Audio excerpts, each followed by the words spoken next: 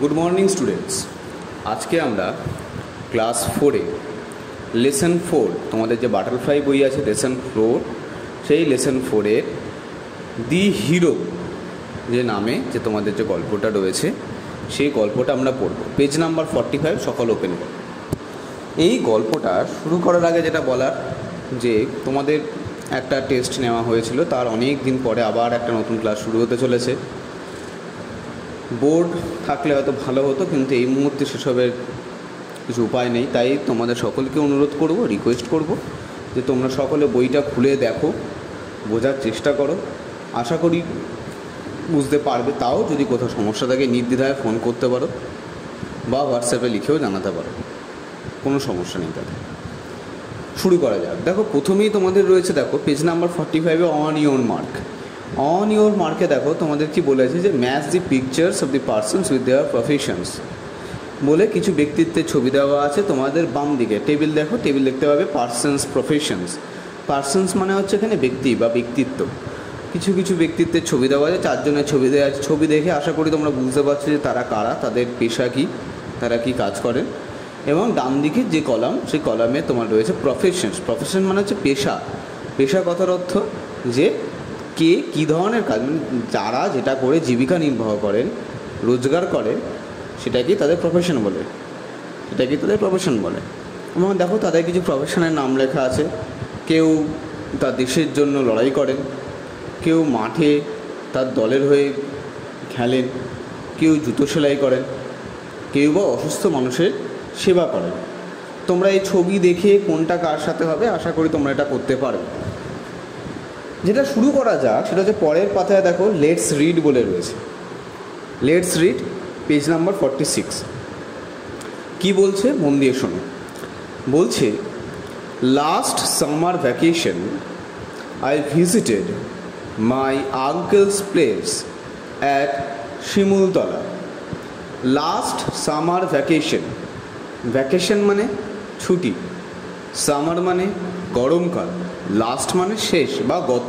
তাহলে গত গরমের ছুটিতে বা শেষ গরমের ছুটিটাতে I visited my uncle's place at Shimultala আমি শিমুলতলায় আমার কাকার বাড়িতে ঘুরতে গিয়েছিলাম। এবার আঙ্কেল মানে ইংরেজিতে আমরা বাংলা যাদের মামা, কাকা, জেঠু এসব বলে থাকি ইংরেজিতে, একটা শব্দ দিয়েই তাদের পরিচয়িত করা হয় এবং সেই শব্দটার নাম হচ্ছে আঙ্কেল এবার তোমরা আমি এখানে কাকা বললাম, তোমরা এখানে মামা, জেঠু যেরকম শব্দ এটা তোমরা পছন্দ করো বলতেই পারো, এতে কোনো সমস্যা নেই।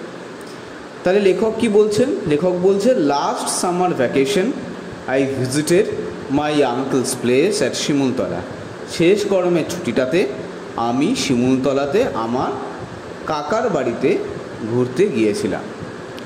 I was bored during the afternoons বিকেলবেলা তোমরা সাধারণত কী করো? খেলো। কোথাও না কোথাও নিশ্চয়ই খেলতে যাও, বাড়িতে খেলো, এখন যা পরিস্থিতি নিশ্চয়ই তোমরা বাড়িতে গেলে, কিন্তু খেলো তো অবশ্যই। তাহলে সেই কাকার বাড়িতে গিয়ে কি হলো?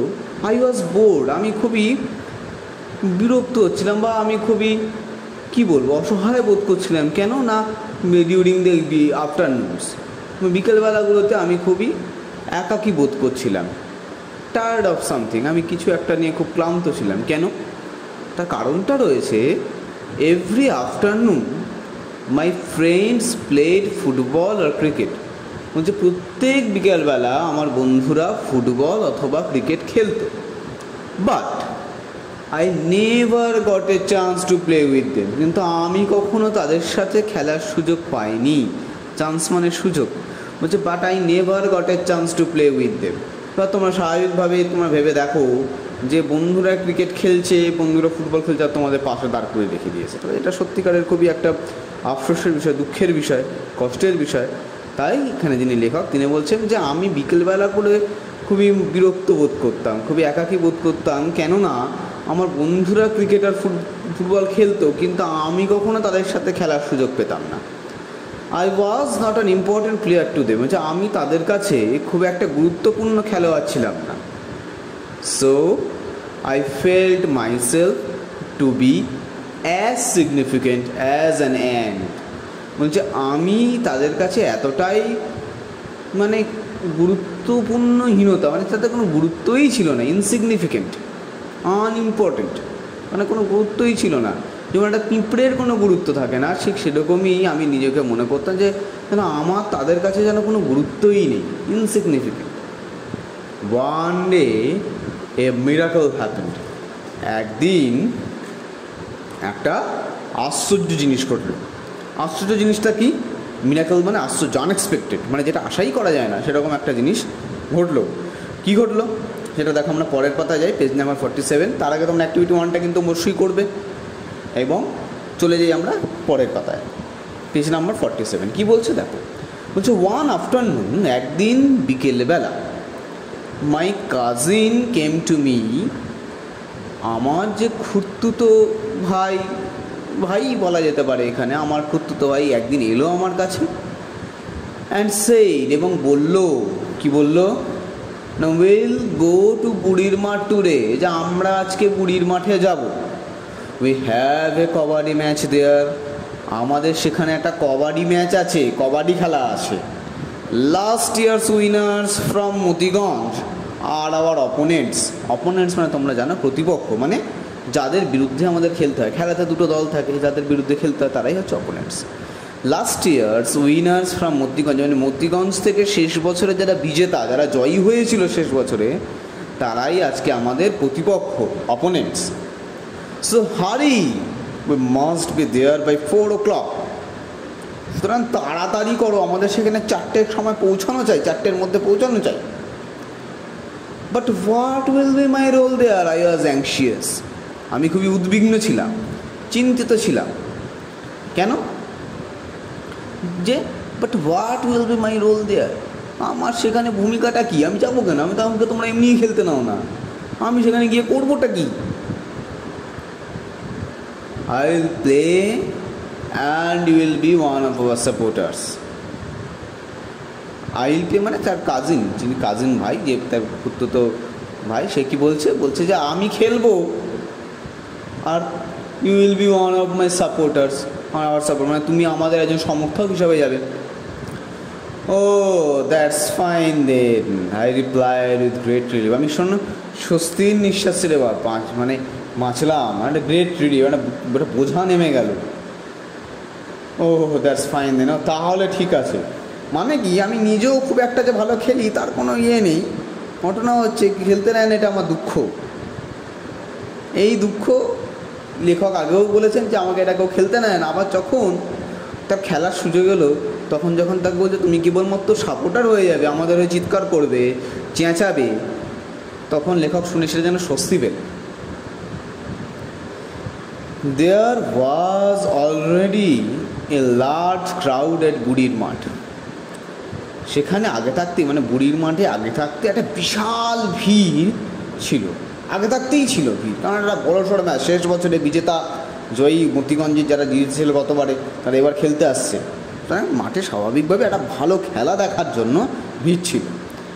I quietly took a place among the crowd আমি চুপচাপ কোয়াইটলি মানে চুপচাপ। I quietly took a place among the crowd আমি ভিড়ের মধ্যে চুপচাপ একটা জায়গা খুঁজে নিলাম। মানে জায়গা খুঁজে বসে বললাম অল অন এ সাডেন হঠাৎই অল অন এ সাডেন মানে হঠাৎই মাই কাজিন কেম আমার সেই ভাই এলো and gripped my hand tightly এবং আমার হাতটা জোরে চেপে ধরল। Hey what's wrong I ask আমি তাকে জিজ্ঞাসা করলাম। আরে, কি ব্যাপার? কি গণ্ডগোল সে ভাই আমাকে বলছে, কি বলছে? নাসিরস মাদার ইজ ইল নাসিরের মা খুবই অসুস্থ হি হ্যাজেন্ট কাম সে আসতে পারবে না so you will have to play for us তোমাকে আমাদের হয়ে খেলতে হবে। নাসির আসতে পারবে না, তার মা অসুস্থ হয়ে পড়েছেন তোমাকে আমাদের হয়ে খেলতে হবে। আই ওয়াজ স্টান্ড আমি হকচকিয়ে গেলাম, অবাক হয়ে গেলাম। যেন কোনো শক্ত লেগেছে। আমি আশ্চর্য হয়ে গেলাম যে কী হলো ব্যাপারটা। My heart was beating like a drum আমার বুকটা যেন ধরফর করছিল, যেন কোনো ড্রাম পিচ্ছে